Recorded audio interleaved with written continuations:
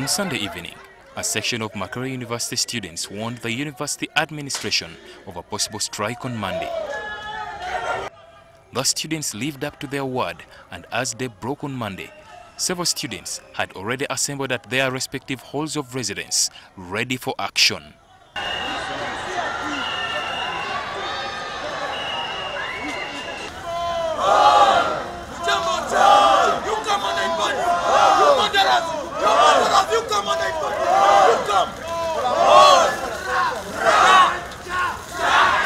However, the police was on alert. It didn't take long before police swung into action.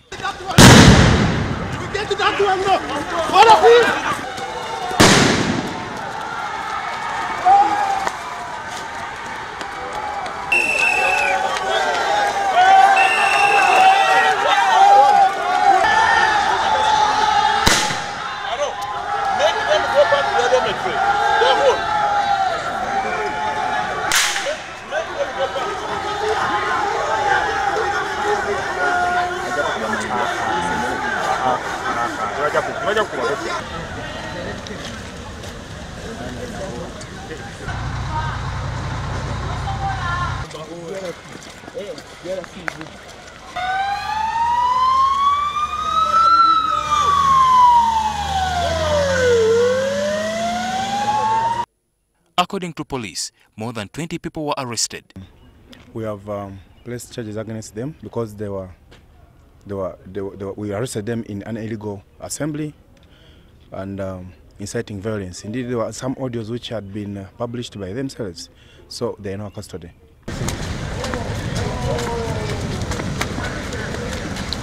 Nataka hiyo handicap akufanyisha huko nitoe kwanza kufungua alafu siende.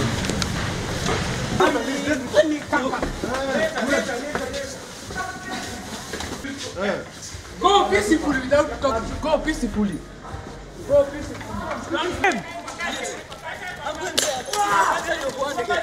We are striking and we are saying no to these draconian policies. We are saying no to increment of tuition. We are saying no to uh, privatizing our halls of residence. We are saying no to uh, scrapping of meals, increase of tuition, evening lectures. Please, uh, whoever is responsible should come and address these issues before, before the situation becomes out, out of hand. Students are the majority shareholders of the university, so one man's decision or 10 people's decision cannot decide for all the Makererians. So we as Makerere University students, we have decided that today we are not having lectures and we are striking to see that all our grievances are put into place. The university administration has warned against violence, advising students to pursue dialogue to get their grievances solved. we can use dialogue to ensure that we discuss and engage with the students. We'll have an open discussion involving the university management, the vice chancellor, the student leadership,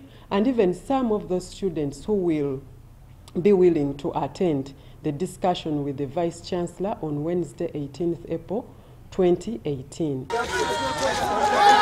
For the most of the day, Lumumba Hall has been a battleground between the police and the rowdy students. However, the question remains, are strikes the only solution to the problems facing Makerere University? Ali Mivule, NTV, Makerere.